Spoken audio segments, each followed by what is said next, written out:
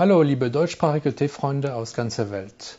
Willkommen bei mir, Stefan Erler. Ich bin der Gründer des Tea-Masters Blogs und der tea-masters.com Teeboutique. Äh, ob ihr in Deutschland, in Belgien, in der Schweiz oder in meiner Heimat im Elsass seid, wir machen heute einen Schlusspunkt zu einem Kurs des Winters über hochoxidierte Tees und äh, Oolongs und rote Tees. Und wir äh, machen einen Schluss damit, mit diesem Tee. Es ist die Nummer 21, Rong, äh, Rong Une. Ja, man muss es nicht mit äh, Rong Ü äh, verwechseln, das wir letzte Woche hatten. Rong Une Nummer 21 kommt aber auch aus äh, Sun Moon Lake, also äh, dem Teich des, der Sonne und des Mondes. Äh, und es ist wie letzte Woche auch ein Tee, das von der Taiwan Research and Extension Station, also ein Tee-Forschungslabor, entwickelt wurde. Ähm, Nummer, es ist also die Nummer 21 und das ist ein äh, ein Tee, das von zwei Teesorten kombiniert wurde. Und zwar eine ist Chimen, das äh, rote Tee aus China, aus Anhui. Und das andere Tee ist Assam aus Indien diesmal. Äh, letzte Woche bei Hongyu war es äh, ein, eine birmanische äh, Sorte, die auch Assam sehr, äh, sehr, näher, sehr nahe ist und mit einer taiwanesische Wildteesorte bei Hongyu, aber bei Hongyun handelt es sich diesmal um einen chinesischen roter Tee, Chimen und ein Assam aus Indien. Und deshalb sieht es äh, doch ein bisschen äh, äh, sehr, äh, sehr äh, wie sagt man, sehr gleich oder ein bisschen ähnlich wie letzte Woche aus. Lange äh, Stängel, lang, lange Blätter, äh, ein paar äh, orangefarbige Tipps am Ende. Hier habe ich heute ein, ich bin beim Schluss meines Pakets, deshalb krümelt es ein bisschen, aber sonst sieht es wie letzte Woche ziemlich ähnlich aus. Dieser, dieser Tee ist also eine neue Teesorte, die ich aus dem äh, Anfang des äh, der Jahre 2000 entwickelt wurde. Und es ist vor allem für die Gebiete gedacht, wo äh, man gut rot, äh, roten Tee anbaut, also die Lage bei, äh, bei diesem Sun Moon Lake oder auch, äh, man findet es auch in Hualien Taidong, also auf der Ostküste, wie die meisten roten, roten Tees in Taiwan. Äh, und was besonders bei diesem roten Tee ist, dass es ein Kultivar wirklich, das gemacht ist für rote Tees. Denn heutzutage ist roter Tee so beliebt, dass ähm, die Teebauern in Taiwan äh, roten Tee mit allen möglichen Kultivaren äh, machen, mit Xingxing Ulung, das hatten wir auch in diesem Kurs gesehen, man kann es auch sogar mit, äh, das, war, das war der Fall in, in Alishan. Wir hatten einen hochoxidierten Tee auch aus, äh, äh, aus einem anderen Qingxing Oolong in Shalinxi, ja, dieser Concubine. Äh, und wir hatten auch, ähm, äh, es ist auch möglich mit Qingxing Dapang. Normalerweise benutzt man das, um Oriental Beauty zu machen, aber man kann es auch für roten Tee benutzen. Ginseng kann äh, für roten Tee benutzt werden. Also jede mögliche, jede mögliche äh, Kultivar kann äh, auch als äh, roter Tee verwandt, verwendet werden. Aber äh, Hongyu, Hongyun, das sind zwei Kultivars, die wirklich für roten Tee gemacht sind, äh, bedacht sind auch, denn äh, die, äh, die sind am Ursprung auch mit roten Tee verwandt. Äh, in diesem Fall Chimen und Assam, also die Eltern dieses äh, Hong Yun, sind wirklich auch zwei äh, Kultivars, die mit äh, äh, die für roten Tee äh, am besten geeignet sind. Also wir wollen diesen Tee gleich probieren. und wie wir unseren Porzellangaiwan vorwärmen. Es, diese Tee ist ein bisschen schwieriger anzubauen als Hong Ü. Deshalb ist Hong Ü normalerweise ein bisschen teurer als äh, äh, Hong Ü. Hm. Hm. Riecht und ähm, äh, ein bisschen feiner. Man, wir wollen es aber auch gleich probieren. So sehen, wie er schmeckt.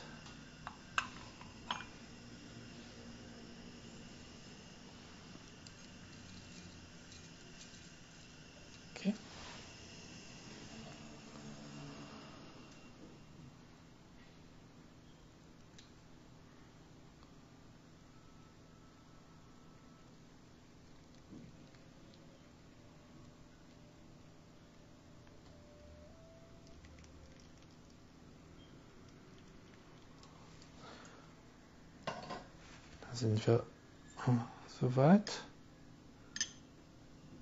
Die Farbe verändert sich sehr schnell.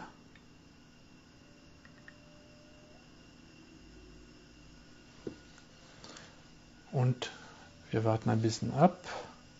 Wir können schon jetzt unser Tässchen leeren.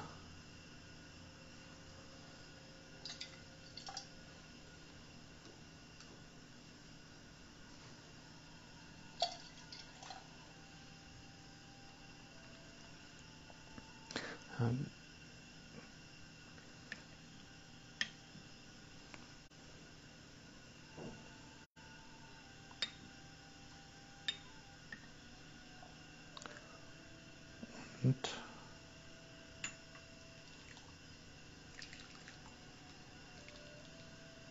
okay, gute Konzentration, schöne rote, dunkle Farbe, sehr schön transparent. Natürlich nach einiger Zeit ähm, verliert dieser Tee seine Transparenz. Das ist normal, denn es hat ähm, viele Polyphenole, die werden, äh, ich, die machen dann den Tee ein bisschen mürbe, aber äh, am, am, Anfang muss es transparent aussehen. Hm. Schmeckt ähm, ein bisschen äh, ähnlich wie letzte Woche bei, beim Hong-Yun. Man spürt diese äh, größere, mm, dieser körperliche ähm, Geist, äh, dass es äh, ein bisschen herbe ist im, äh, im Gaumen und im Geschmack. aber seine Gerüche sind ein bisschen anders. Und ähneln ein bisschen ähm, Orange, Zitrone, sind ein bisschen in dieser Richtung. Äh, ich, rote Früchte, aber auch äh, ein bisschen mehr zitronisch. Also letzte Woche hatten wir mehr Minz und ähm, ähm, äh, andere Gewürze. Heute ist es wirklich rote, äh, rote Früchte und auch ein bisschen äh, orange. Hm. Und also aber mit viel Geschmack, äh, sehr nachhaltig im, im Geschmack äh, und deshalb ein, äh, ein Tee, der, äh, der eine Präsenz hat ich, und viele Aromen. Man ähm, für, zu diesem Schluss dieses Kurses über rote Tees und äh, hochoxidierte Oolongs muss man wirklich eins äh, äh, sich erinnern, dass diese Tees dank äh, Japans ein, äh, in Taiwan damals eingeführt war, äh, wurden. Ähm, vor allem in den 30er Jahren, als äh, die Finanzkrise von 29 einen Schluss zu vielem Welthandel gemacht hat und jede Region hat versucht, weniger zu importieren. Also Japan und äh, sein Imperium hat, haben damals versucht, weniger mit den Engländern zu tun zu haben und deshalb haben sie also äh, diese äh, Industrie in Taiwan angespornt, äh, roten Tee, um keinen roten Tee mehr aus, äh, von den Engländern mehr zu kaufen und äh, versuchen ihren eigenen, ihre eigene Industrie des roten Tees aufzubauen. Äh, damals hatten sie äh, also diese Firma im äh, Sun Moon Lake gegründet in den 30ern. Äh, aber es hat natürlich nicht sehr lange gedauert, bis der Krieg ausbrach und äh, ich, äh, es hatte dann eine Zeit gedauert, bis ich nach dem Krieg die Sachen wieder äh, anfingen zu äh, äh, einen normalen Weg zu, zu, nehmen. Eine lange Zeit war Ulung wieder das T Nummer 1, aber seit den, dem Anfang des, des Jahres 2000, also um das Jahr 2005, 2006, wurde roter Tee wieder beliebt. Äh, in der chinesischen Region und in Taiwan. Und seitdem ist es wieder eine boomende Industrie. Und ähm, da, seitdem finden äh, Teebauern in der Region von Senmunlik wieder zu ihren Wurzeln, aber versuchen mit neuen Kultivars ihren Tee zu verbessern. Und das ist also ein Kultivar, das, äh, das ähnelt den äh, indischen Kultivar, aber ich finde, es bringt mehr Gerüche, mehr Aromen, äh, Zitrusaromen, Orangearomen auch. Und das macht diesen Tee dann also noch interessanter. Und äh, sonst haben wir gesehen, mit äh, Oriental Beauty gibt es auch eine, äh, einen Tee, das im organischen, also bei den Bio-Tees, äh, seine Marke äh, geprägt hat. Es hat Concubine Oolong äh, auch inspiriert. Es hat auch den roten Tee aus der Ostküste inspiriert, diesen Daye Oolong mit Honiggeschmack. Also haben wir in Taiwan eine große Auswahl von hochoxidierten Oolongs und rote Tees und das macht unser äh, ich, und wir haben, wer die Wahl hat, hat, die Qual. Äh, wir haben eine große Auswahl von äh, wunderbaren Tees.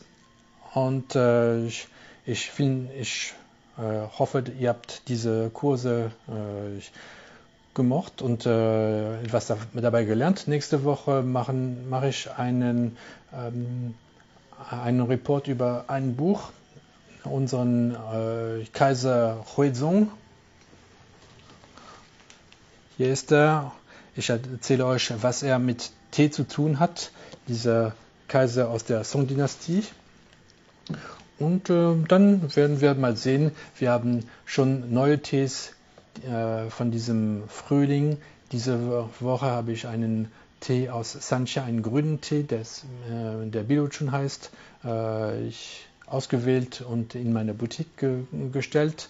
Den werden wir wahrscheinlich in den kommenden Wochen auch zusammen äh, kosten und sehen, äh, was, er, äh, was speziell ist in diesem Jahr. Vielen Dank fürs Zuschauen, gebt mir einen Daumen und wir sehen uns dann wieder nächste Woche. Tschüss.